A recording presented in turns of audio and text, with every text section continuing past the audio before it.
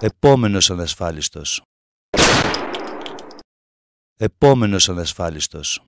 Δεν θα μας πεθάνετε. Τέλος της συγχωνεύσεις και περικοπές στα ογκολογικά νοσοκομεία.